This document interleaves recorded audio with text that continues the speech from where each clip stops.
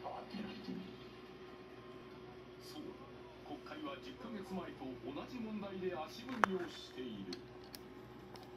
キーパーソンの再登場で微妙な空気が漂う。今週の 7days Reports くしくも今週国会に提出されたのだ。そういう記録はないわけで。記録は残ってございませんないと言っていた財務省と森友学園の900ページ余りの交渉記録。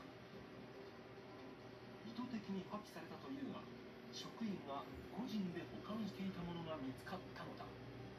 これを早く出してくれればさ1年以上さ時間無駄にさせられたよね。